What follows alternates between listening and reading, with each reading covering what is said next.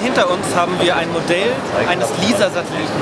Laser Interferometer Space Antenna ist eine geplante Mission zur Detektion von Gravitationswellen, Schwingungen im Raum-Zeit-Kontinuum. Das kann man sich relativ schlecht vorstellen. Es hilft immer ein Modell zu nehmen und sehr schön und sehr klassisch ist die Erde im Gummituch. Ähm, man legt die Erde in die vierdimensionale Raumzeit und die Raumzeit wird durch die Masse der Erde eingedellt.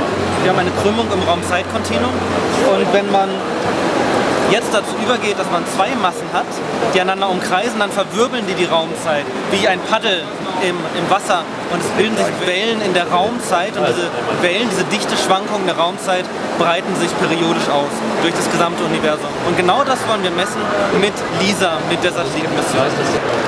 LISA besteht aus drei Satelliten und ich kann Ihnen das hier mal zeigen. Der LISA Orbit ist ein Orbit um die Sonne, der Erde hinterher. Wir haben hier die drei Satelliten, die der Erde folgen. Der Abstand von Satellit zu Satellit beträgt 5 Millionen Kilometer. Und wir werden dann den Abstand zwischen den Satelliten mit Hilfe von Laserstrahlen messen. Wir bauen das größte jemals von Menschen gebaute Laserinterferometer. Und wir können mit Hilfe dieses Laserinterferometers die 5 Millionen Kilometer mit einer Genauigkeit von einem Pikometer messen. Das ist einer unserer LISA-Satelliten in einem verkleinerten Maßstab.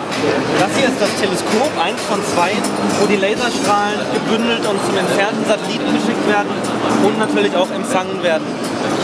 Das hier sind Micronewton Thrusters, mit denen die Position des Satelliten auf Pikometer genau gehalten werden kann, in Referenz zu einer Testmasse. Und die sehen wir hier oben. Das eigentliche Herzstück des Satelliten sind Testmassen, das sind kleine Würfel aus einer Gold-Platin-Legierung, die sich hinter den optischen Bänken befinden. Die fliegen völlig frei im Satelliten und der Satellit hält immer die Referenzposition zu dieser Testmasse. Das Laserlicht wird dann über diese beiden Teleskope auf die optische Bank geleitet, dort wird es aufgeteilt und an Fotodioden geleitet und dort wird dann letztendlich der Abstand von Satellit zu Satellit gemessen, auf Pikometer genau. Und das wird die Astronomie revolutionieren, weil wir zum allerersten Mal nicht nur in den Weltraum gucken und uns tolle Bilder ansehen, sondern wir werden zum ersten Mal hören, was das Universum uns sagt. Und wir werden zuhören.